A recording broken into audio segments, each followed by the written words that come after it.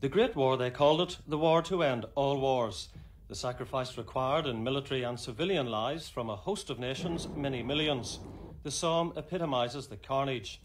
The men of the 36th Ulster Division were the only ones almost to achieve their objective, but at a terrible cost.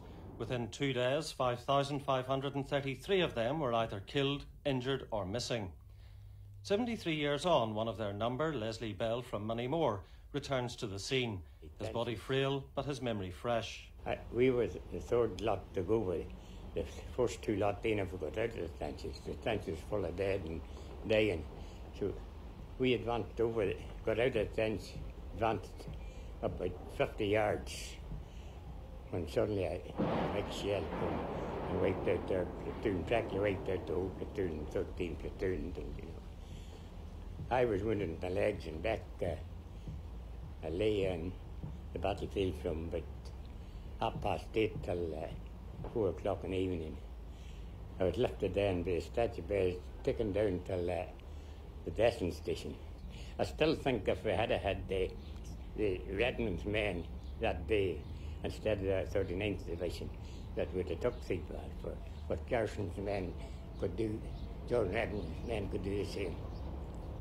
Many of the Ulster Division advanced from the British front line at Thiepval Wood, the few hundred yards on the first of five German lines. It's there, where many thousands fell, that the tower erected in their memory stands.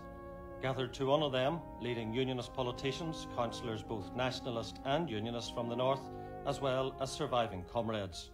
Proudly they gathered, rank on rank to war, as those who heard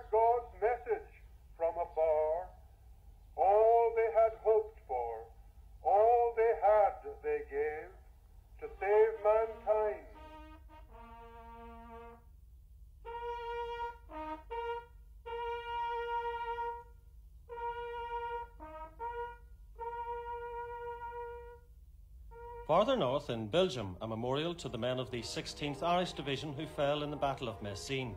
It was the first completely successful single operation on the British front, the 36th Ulster and the 16th Irish fighting side by side.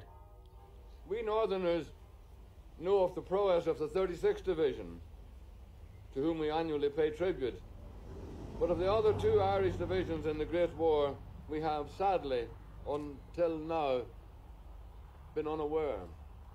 And it falls our proud lot to honour the men of the 16th Irish Division who perished here amid the blood red blossoms of war. There's none of us so poor that will not do them reverence. Not far away, the grave of Major William Redmond, MP, brother of John. Aged 57 and too old for battle, he disobeyed orders to join his men and was injured. Men of the Ulster Division carried him from the front. He died from wounds a younger man would probably have survived. I think they've been a bit left out in our time, and they don't deserve this. Because when Redmond brought his Irish National Volunteers into the British Army, he was trying to place what he saw as an Irish nation state into the then modern world, showing that it was capable of sustaining itself as a nation. And I think the men who fought here proved that. And that is why, in fact, we have a Republic of Ireland today. It's only starting to be, to awaken, maybe perhaps particularly in the in the south of Ireland and also some areas of Belfast. Uh, whenever people of the nationalist persuasion, in particular, whenever they go home after researching the subject in our offices, then they realise that their own kin were involved as well, and it isn't seen as being in any way pro-British. It's being seen as uh, in favour of the struggle against what was, was tyranny at the end of the day. In the green fields of France, the youth of a generation lies buried. The cemeteries, pristine and neat, are respectful, whispering places. I Feel sad about the whole thing. Like, it was all for nothing. All young men, their lives lost for nothing. I feel as if it'd been awful if I had been lying there myself. Lads had never seen life hardly. Some boys only live in school. 98 year old Charlie McLean from Banbridge in County Down had shrapnel wounds and was gassed. He's searching for the grave of a brother who died. It's a sad business, isn't? It's a sad business. There's a terrible lot of them there.